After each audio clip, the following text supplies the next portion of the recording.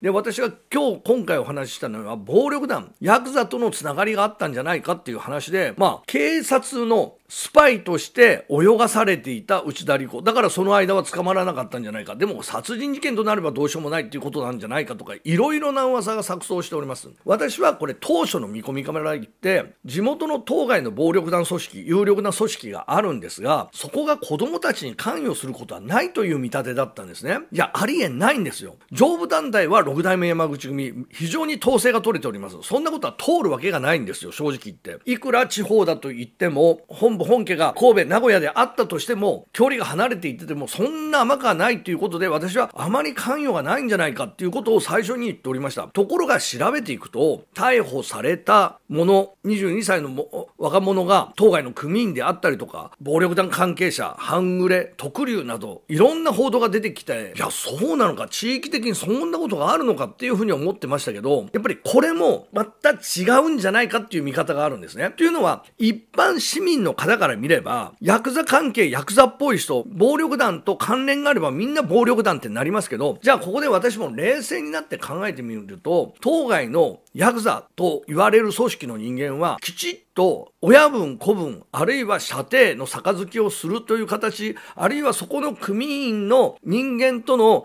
縁組があってきちんと本部なり総本部の登録二次団体の登録そしてそれぞれの組の登録とかいうのがあってきちんとそこに登録をしてなければ現役ではないんですね。ヤクザではないんですよ。だけども世間的に私もちょっと最近これ見方が、まあ、一般の人の目線になっているんでいや関係していれば報道されればみんなヤクザだっていうふうに見てしまうっていうことですね。明らかに何か職業を持っているっていうことであって、関係者だっていうことだと、組員じゃない。例えば、暴力団組員と逮捕されても、え建設作業員とか、会社員とか会社役員で出ますけど、そうじゃない無職の人間だったら、もう、ヤクザというふうな見なし方をしてしまう。防体法の一つの中で、そういう関係者、準構成員みたいな項目があるので、そうなってしまうと、報道されるのは暴力団っていうことですよね。例えば、そうですよね。まあ、具体的に名前を出して申し訳ないんですけど、今回名前が取り沙汰されてるのは、やっぱり旭川で有力組織っていうのは極道会。そうすると極道会の関係だよって言われるけど、極道会の関係って極道会の直参の組員しかいないわけですよ。でも、その人たちの組員の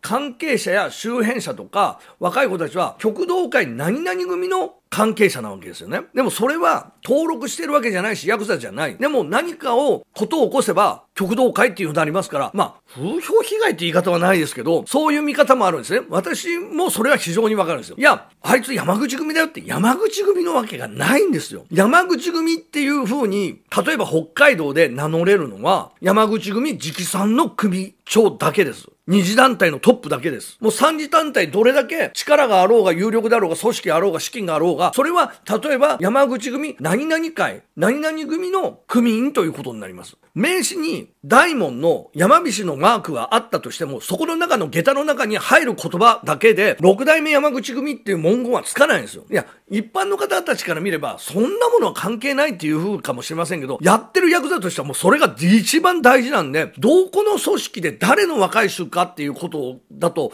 全く違う組織になってしまうということです。だから、旭川でヤクザをやってるから、全員極道会の人間っていうわけでもないですね。他の地域から来てる人間もいますし、もともとは別の組織の人間、いわゆる神戸山口組側だった組織もいて、それが辞めてまた違うところに行ってるって変遷があるわけですね。そういった形、方だことはもう全く加味されずにみんなヤクザであればそうだって、で、関連してればそうだってなると、当該の組員の人たちは見たこともない、会ったこともない人間たちが、こういったような今回みたいな大きなセンセーショナルな事件があって、そこで関与しているとなると、まあこれはたまったもんじゃないわけですよ。だから事実が見えなくなる。でも、一般の人たちから見たら一緒なんですよね。事実と違うことになっちゃうわけですよ。いちいち全部それを言ってく内容じゃないんですけど、皆さん市民の方たちは非常に憂いておりますね、これは。これはおかしいと。で、私は、じゃあそこで一緒になって、じゃあヤクザともどうのこうの。いや、関係はあったかもしれないけども、まあ、狭い町なのでそうなのかもしれませんけど、でも私が別で言っていくと、本当にそこに繋がってるのと。でも、辞めたっていうことは出てこないんですよね、どこも。元組員であるっていう書き込みはないもんですから、当然、警察も我々と同じ認識なんですよ。じゃあまだ現役なんじゃないか。でも現役で現か現役じゃないかっていうのはもう大きな違いで、現役じゃない、辞めた人間